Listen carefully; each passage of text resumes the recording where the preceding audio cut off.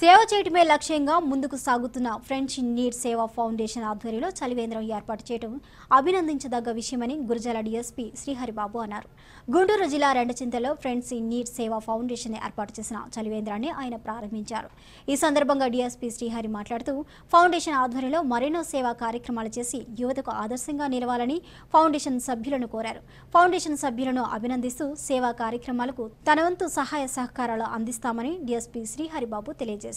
Friends in need Seva foundation అధ్యక్షుడు పేరం చెన్నారెడ్డి మాట్లాడుతూ పేదలను ఆదుకునేందుకు ఫౌండేషన్ ఏర్పాటు చేస్తామని అన్నారు. ఈ కార్యక్రమంలో ZPTC Nuvvuluri Bhaskar Reddy PHCM chairman Ramakrishna vice MPP Sumanth Reddy friends in need foundation committee ఉపాధ్యక్షులు గొట్టం హుస్సేన్ రెడ్డి సభ్యులు శ్రీకాంత్ రెడ్డి వెంకటేశ్వర రెడ్డి సోమరాజు రాజారత్నం రెడ్డి మనోహర్ తదితరులు పాల్గొన్నారు. ప్రారంభించబోతా ఉన్నారు. ఫ్రె- ఫౌండేషన్ ఆధ్వర్యంలో ఓకేనా? ఇటు చూడండి రైట్ ఎస్ క్లాస్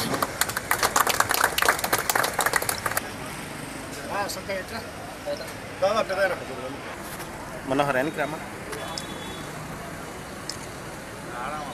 అభివందనాలు ఎన్నికల సమయంలో విజయవంతం కావాలని చెప్పి ఆశిస్తూ ఆకాంక్షిస్తూ అభిలషిస్తూ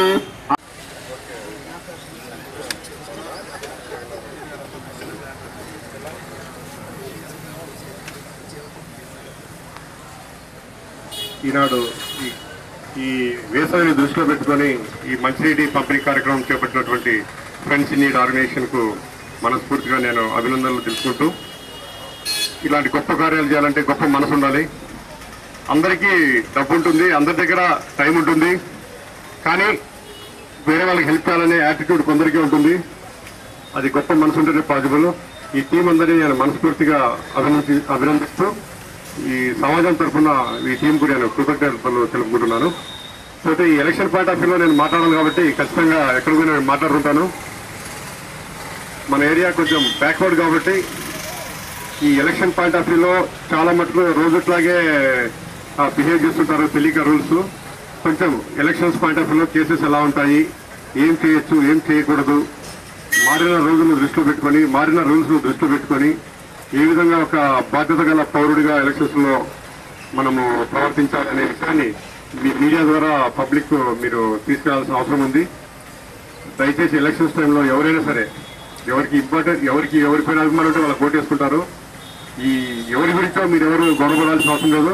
ఒక్కసారి ఎలక్షన్ సంబంధించిన గొడవల్లో తలదూర్చి గొడవలు ఇన్వాల్వ్ అయ్యి ఒక్కసారి కేసులు ఇరుక్కున్నారంటే మాత్రం నెక్స్ట్ అతను ఉన్న రోజులు ఎప్పుడు ఎలక్షన్ జరిగినా ఎక్కడ ఎలక్షన్ జరిగినా అతన్ని ఫైండ్ అవుట్ చేస్తారు. అతను తీసుకెళ్ళి స్టేషన్లో కూర్చోబెట్టాల్సిన పరిస్థితులు కూడా ఉంటాయి. దయచేసి ఈ విషయాలన్నీ పబ్లిక్ మీడియా ద్వారా నేను తెలియజేయాలని కోరుకుంటున్నాను. Thank you